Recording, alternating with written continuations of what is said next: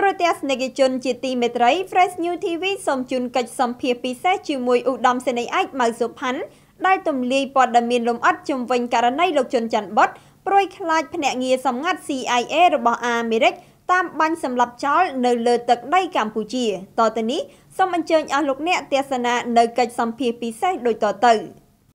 ករណីលោកជុនច័ន្ទបុតនាយកគ្រប់គ្រងវត្ថុអាស៊ីសេរីជាខេមរៈភាសាសម្ដែងការព្រួយបារម្ភខ្លាចអាមេរិកតាមបាញ់សម្លាប់និងលួចធ្វើជាចារកម្មឲ្យនាយករដ្ឋមន្ត្រីកម្ពុជាកាន់តែត្រូវបានល្បីសុសសាយទាំងនៅក្នុងប្រទេសកម្ពុជានៅជុំវិញពិភពលោកក្រៅពីសម្ដេចតេជោហ៊ុនសែនប្រមុខដឹកនាំរាជរដ្ឋាភិបាលកម្ពុជាប្រកាសក្តែងក្តែងចេញពីប្រទេសអូស្ត្រាលីទម្លាយមុខចារកម្មបូករួមទាំងទម្លាយនៅសារឆ្លើយឆ្លងដ៏សំខាន់មួយរវាងលោកជុនច័ន្ទបុតជាមួយនឹងលោកហ៊ុនម៉ាណែតកូនប្រុសច្បងរបស់សម្ដេចកាលពីថ្ងៃម្សិលមិញប៉ុន្តែអ្វីៗនៅមិនទាន់អស់នៅឡើយទេនៅថ្ងៃទី17ខែមីនាឆ្នាំ2018នេះឧត្តមស្នេហ៍ឯកម៉ៅសុផាន់មេបញ្ជាការកងពលតូចលេខ70បានផ្ដល់កិច្ចសម្ភារផ្ដាច់មុខពិសេសជាមួយនឹងលោកលឹមជីវថានាយកប្រតិបត្តិអង្គភាពព័ត៌មាន Fresh News ដោយទម្លាយនៅអាត់កំបាំងលំអិតបន្ថែមទៀតដើម្បីជូនទៅដល់សាធារណជនឲ្យបានជ្រាបខាងក្រោមនេះគឺជាកិច្ចសម្ភាររវាងលោកលឹមជីវថាជាមួយនឹងឧត្តមស្នេហ៍ឯកម៉ៅសុផាន់លោកអ្នកស្ដាប់ជាទីមេត្រីនៅក្នុងកិច្ចសម្ភារនោះលោកលឹមជីវថាបានចោទជាសំណួរថាកាលពីថ្ងៃម្សិលមិញសម្ដេចតេជោហ៊ុនសែននាយករដ្ឋមន្ត្រីនៃប្រទេសកម្ពុជា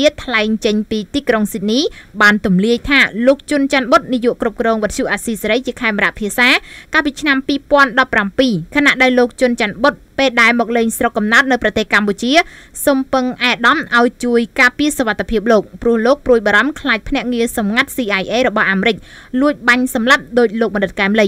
ចំពោះករណីនេះតើអេដាមអាចរៀបរាប់ដើម្បីជម្រាបជូនទៅដល់សាធារណជនបានដែរឬទេ ជាការឆ្លើយតបវិញឧត្តមស្នេហ៍អាចម៉ៅសុផាន់បានបញ្ជាក់ថាដំបងឡើយអតីតបុគ្គលិកវត្ថុអាស៊ីសេរីម្នាក់គឺលោកសុករដ្ឋាហៅរដ្ឋាវិសាលបានមកជួបខ្ញុំនៅបន្ទាយម៉ោង7យប់នៅថ្ងៃទី22ខែមីនាឆ្នាំ2017បន្ទាប់ពីលោកជុនច័ន្ទបុតបានផ្ញើសារតាម WhatsApp មកខ្ញុំមុនប្រមាណជាមួយសប្តាហ៍មកហើយដោយលោកជុនច័ន្ទបុតសុំកម្លាំងរបស់កងពលតូចលេខ70ដើម្បីការពារខ្លួនព្រោះខ្លាច CIA អាមេរិកតាមសម្លាប់លោកជុនច័ន្ទបុតដោយសម្លាប់លោកកែមលី ក្រោយមកនៅម៉ោង10យប់ថ្ងៃដដែលនោះខ្ញុំបានចាត់ចែងកម្លាំង3នាក់ដើម្បីការពារពីប្រលានយន្តហោះអន្តរជាតិភ្នំពេញ។ រហូតដល់ម៉ោង11:54នាទីយប់ថ្ងៃទី22ខែមីនាដដែលនោះកម្លាំងរបស់ខ្ញុំក៏បានតាមការពារពីក្រោយដោយលោកជុនច័ន្ទបុតបានជិះឡានលុយស៊ី407ពណ៌ខ្មៅស្លាកលេខភ្នំពេញ 2S0789 តាមការពាររហូតដល់សន្តាគារសាន់វេនិងលោកបានប្រាប់ពីខាងក្នុងមកថាសន្យាផ្ដល់ព័ត៌មានមកឲ្យយើងវិញនៅថ្ងៃទី23ខែមីនាឆ្នាំ2017នៅវេលាម៉ោង12:15នាទីថ្ងៃត្រង់ឈ្មោះរដ្ឋាវិសាលបានរៀបចំឲ្យមានការទទួលទានបាយជាមួយនឹងខ្ញុំនិងលោកជុនច័ន្ទបុតដោយមានកម្លាំងរបស់ខ្ញុំតាមការពៀផងដែរក្នុងពេលបាយដែលមានរយៈពេល1ម៉ោងនិង45នាទីយើងបានជជែករឿងរ៉ាវជាច្រើនខ្ញុំមានខ្សែអាត់សម្លេងទាំងស្រុងនៃការសន្ទនារវាងខ្ញុំនិងលោកជុនច័ន្ទបុតថែមទៀតផង